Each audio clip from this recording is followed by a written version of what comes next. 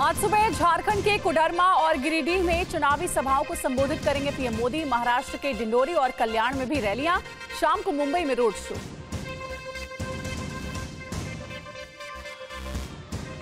लखनऊ में आज India block की प्रेस कॉन्फ्रेंस, खड़गे अखिलेश यादव और सीताराम येचुरी करेंगे संबोधित तो राहुल गांधी आज ओडिशा के बलांगीर में करेंगे जनसभा।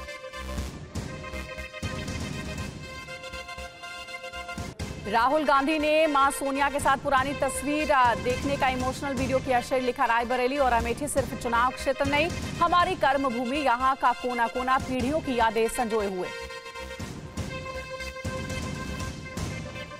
स्वाति मालीवाल से बदसलूकी पर बोले संजय सिंह, केजरीवाल के पीए विभव कुमार के खिलाफ होगी सख्त कार्रवाई। तो बीजेपी आज दिल्ली सीएम आवास के बाहर करेगी प्रदर्शन।